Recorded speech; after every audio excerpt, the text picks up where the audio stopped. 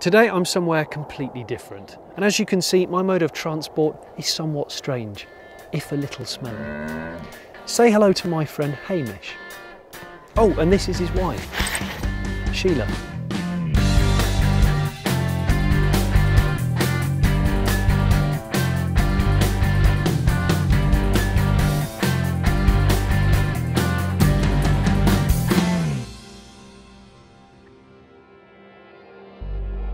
This is the Dubai Desert, one of the hottest places on Earth.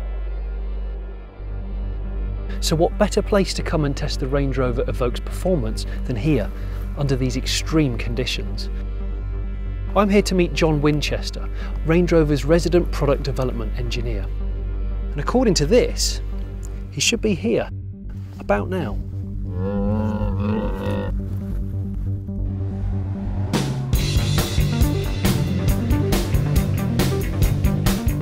Ah, that'll be him then.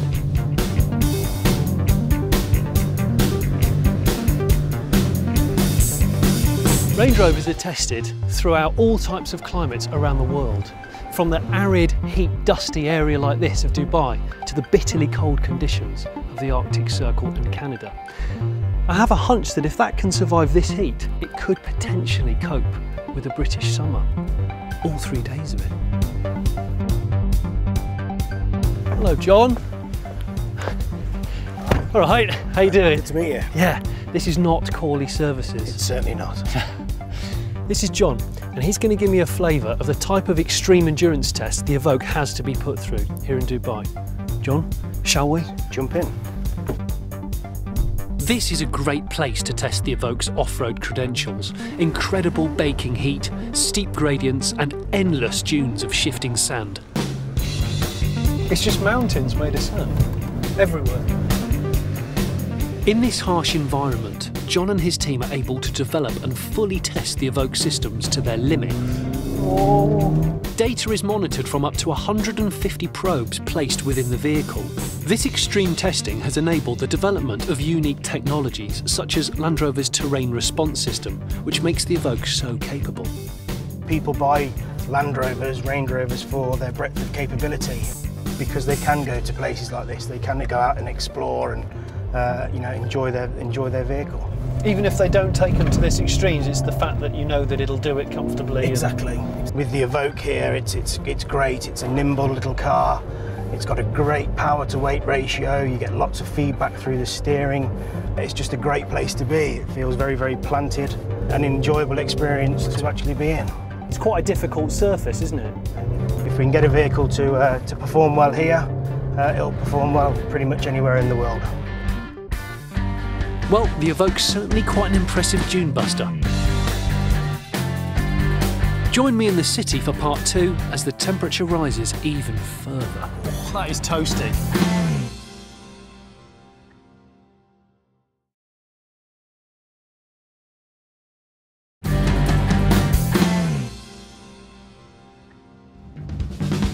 We're in Dubai to see how they test the Evoque's hot weather capability. And of course, it's not just about dune busting. The extreme heat of the city can be just as challenging, and to put this to the test, John has left the Evoque in direct sunlight for an hour, cooking nicely.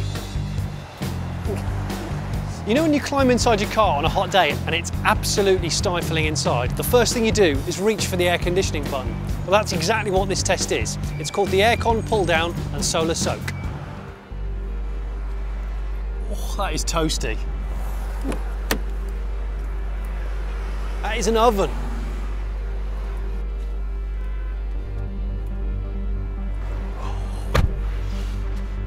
Go on then, what is it? 55 degrees. Struth. I'm turning into gravy.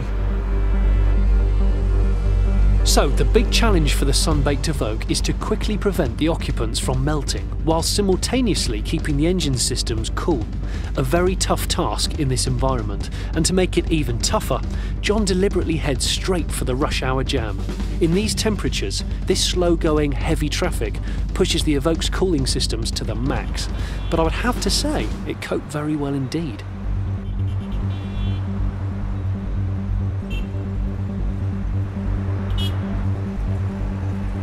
We've been in traffic now for, for some three hours and it's 38 degrees centigrade outside, so it's quite warm. And although this might seem very mundane, this is actually the test that John has to carry out to ensure two things. Firstly, that the air conditioning inside the cabin's functioning as it should, and B, to make sure the cooling system of the engine's performing under these temperatures. So where better to do it than in the rush hour at the souk? But thanks to Range Rover's engineering, I'm actually quite comfortable and cool. I suspect the people out there walking and on motorbikes are not so comfortable. With the hot traffic jam test completed, I was grateful when we were able to get up to speed and experience the Evoque on the highway.